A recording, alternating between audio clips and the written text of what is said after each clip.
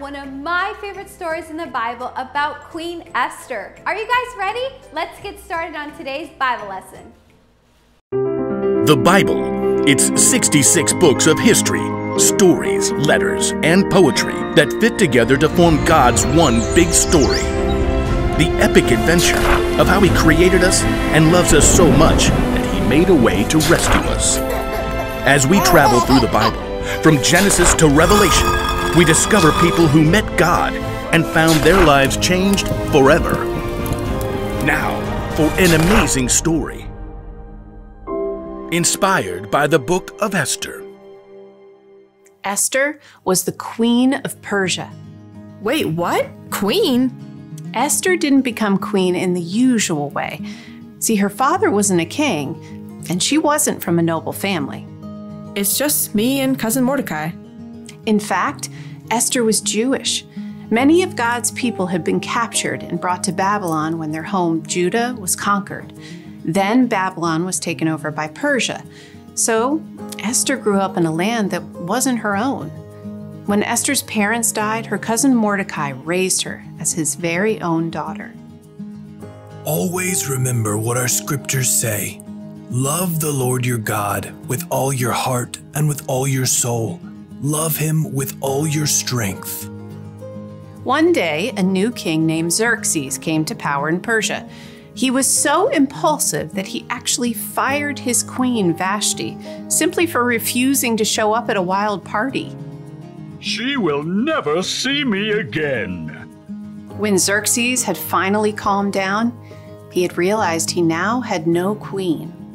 I have no queen. He would have to find a new one. I must find a new one. So the king decided to hold a contest. He ordered his officials to gather the most beautiful young women in the land and put them through an entire year of beauty treatments. Esther was one of those girls chosen. Cousin Mordecai, what do I do? Don't tell anyone you're from a Jewish family. I have chosen my new queen. Drum roll. My new queen is Esther.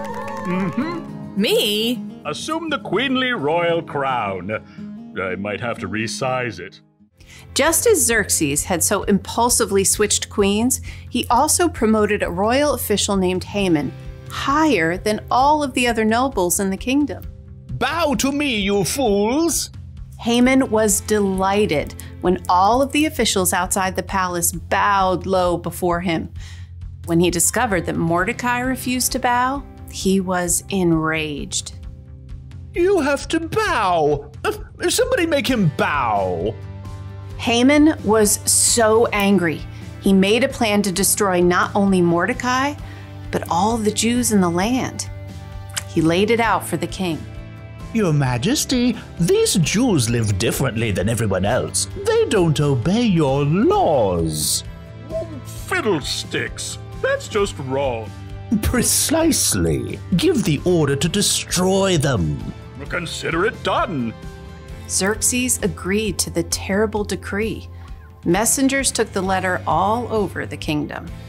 Hear ye, hear ye. On the thirteenth day of the twelfth month, all Jews are to be killed. Hear ye, hear ye. When Mordecai and the other Jews discovered the horrible news, they dressed in rough clothing and wept bitterly. Mordecai sent a message to Esther in the palace, telling her what Haman had done. You must ask the king to save our people. Esther was devastated. She sent a response to her cousin. No one can come before the king unless he sends for them. If I do it, I'll die, unless he reaches out his gold scepter to me. Mordecai sent his answer right back. You may not escape, even though you're queen. Who knows? It's possible that you became queen for just a time like this. He's right. Here, tell this to Mordecai. Gather all the Jews. Don't eat anything for three days. I and my servants will fast too. Then I'll go to the king. Esther faced an impossible dilemma, but she took three days to prepare her heart and her mind. Bring my most beautiful royal robes. Heart racing, Esther entered the throne room. Across the long hall, she saw the king seated high on the throne. Breathless, she waited for him to see her. Please, please, please.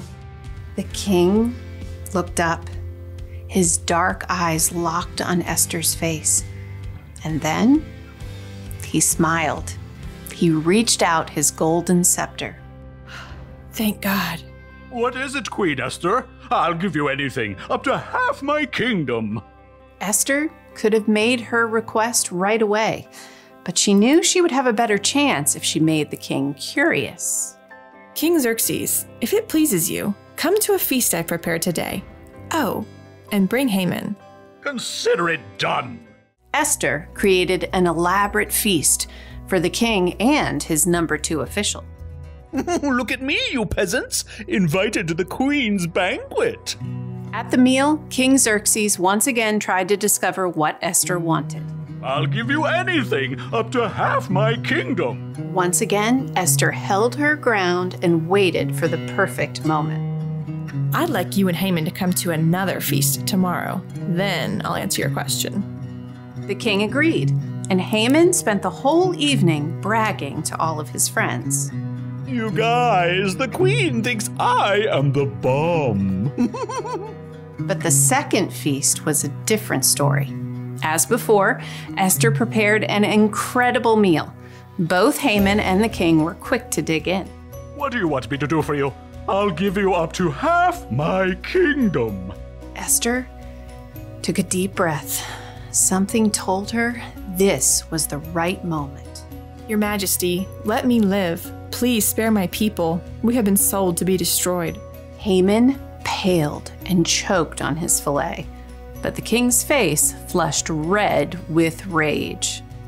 Who is the man who has dared to do such a thing? Esther turned her gaze on Haman. Haman is the one. In a panic, Haman threw himself at the queen. Totally didn't mean it. Please, please, please let me live. You dare attack the queen? Take him away. That very night, Haman was killed, and the king created a new order that would allow the Jews to be saved. We will celebrate this day with great joy. God had given Esther a surprising position in a foreign nation, and when the time was right, she would use all she had been given to save her people.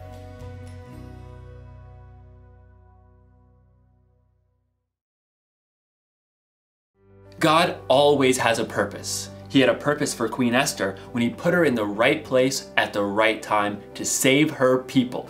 He had a purpose when he sent Jesus to pay for the sins of the world.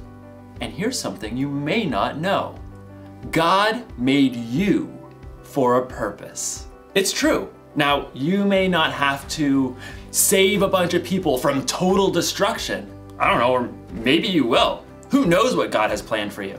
But I do know God has a plan and a purpose for your life, whether it be big or small. So think about it. What's your purpose? Is there something you like to do more than anything else? Like baking, or organizing, or juggling. Maybe what you like to do has something to do with your purpose. Or what about this? Is there something that you care about more than anything else? Like animals or taking care of people or keeping the planet clean? Maybe those things have something to do with your purpose. Whatever it is, here's the one thing to remember. God created you for a purpose. Actually, I think it would be safe to say purposes. Maybe it's something giant, like Esther, or maybe something simple, like chocolates. Mm, mm, mm, mm, mm. Didn't get it. So close, gonna keep trying. Yes! Purpose!